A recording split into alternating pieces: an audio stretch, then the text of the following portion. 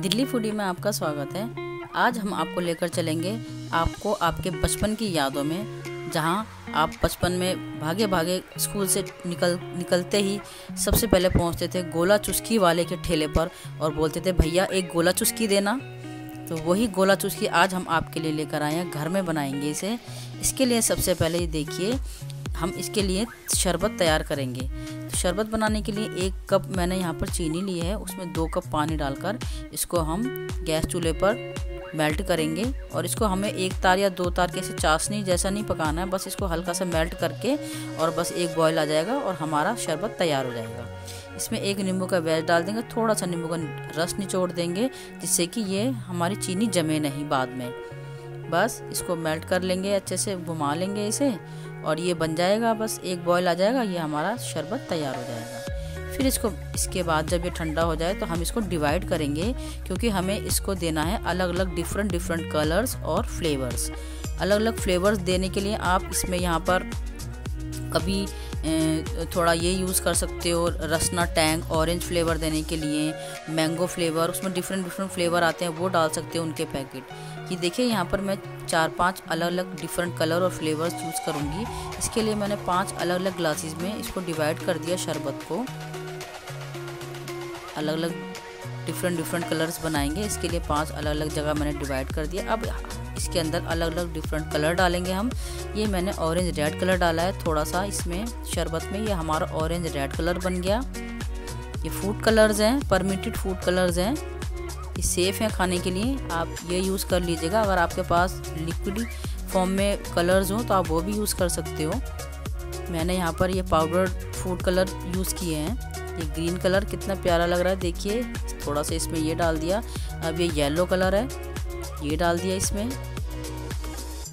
Flavours अगर आप देना चाहो तो ये जो रसना के टैंग टैंग वगैरह और रसना के पैकेट्स आते हैं, वो लाकर आप इसमें डाल सकते हो और इसे और भी हेल्दी बनाने के लिए चाहो तो इसमें ग्लूकोन सी, ग्लूकोन डी वो भी डाल सकते हो एक एक चम्मच, ये हमारा और भी हेल्दी भी हो जाएगा। अब सबसे लास्ट में काला खट्टा शरबत बनाने के लिए यहाँ पर थोड़े मसाले हैं। ये देखिए, एक चुटकी हम इसमें डालेंगे सिंपल नमक।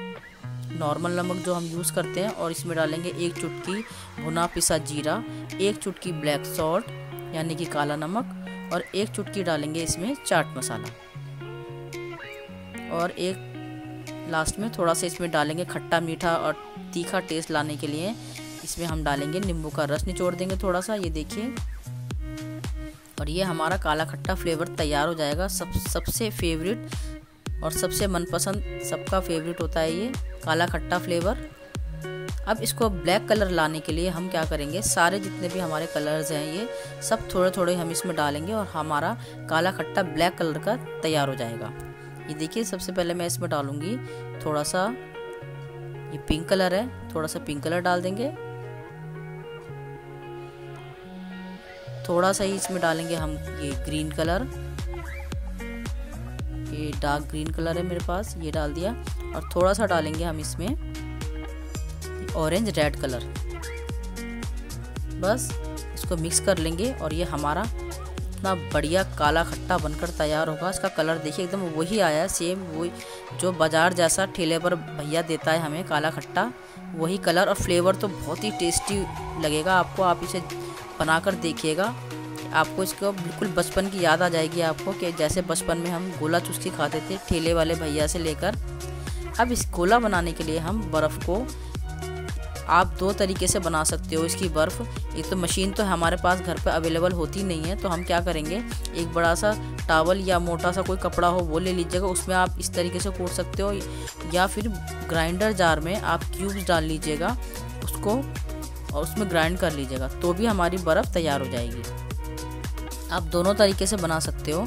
ये देखिए, ये टावल में मैंने कूट ली थी बर्फ़ और ये ग्राइंडर में बना ली मैंने। ये हमारी बर्फ़ बनाने के लिए, गोला बनाने के लिए बर्फ़ रेडी हो गई। ये देखिए, इस तरीके से आपको कोई भी ग्लास स्टील का या कांच का जो भी शेप पसंद हो, उसमें एक स्टिक डाल दीजिएगा। इस तरीके से ये आइसक्रीम स्टिक है डालकर और ये देखिए, कितना बढ़िया हमारा। इसको जितना ज़्यादा टाइटली आप दबाओगे, ये गोला उतना ही बढ़िया बनेगा।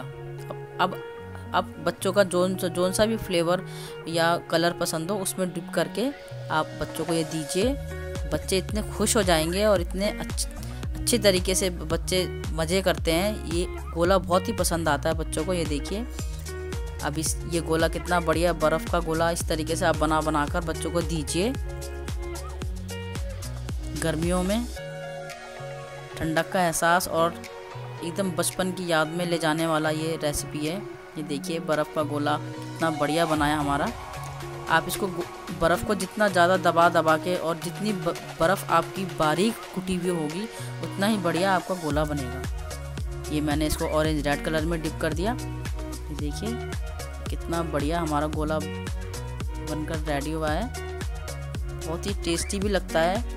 फ्लेवर्स के लिए आप इसमें अपने मनपसंद कोई भी फ्लेवर डाल सकते हो। एक ग्रीन कलर का गोला। बस, इसी तरीके से हम सारे कलर के अलग अलग डिफरेंट डिफरेंट कलर्स के तैयार कर लेंगे। और सबसे लास्ट में ये देखिए, काला खट्टा, सबका फेवरेट काला खट्टा गोला हमारा कितना बढ़िया बना है। आप इसे घर में, गर्मियों में ज़रूर बनाकर बच्चों को दीजिएगा। अगर आपको हमारी रेसिपी पसंद आए तो हमारा चैनल दिल्ली फूडी ज़रूर सब्सक्राइब कीजिएगा लाइक कीजिएगा हमारी रेसिपी और शेयर कीजिएगा बेल आइकन को भी ज़रूर दबाइएगा। Thanks for watching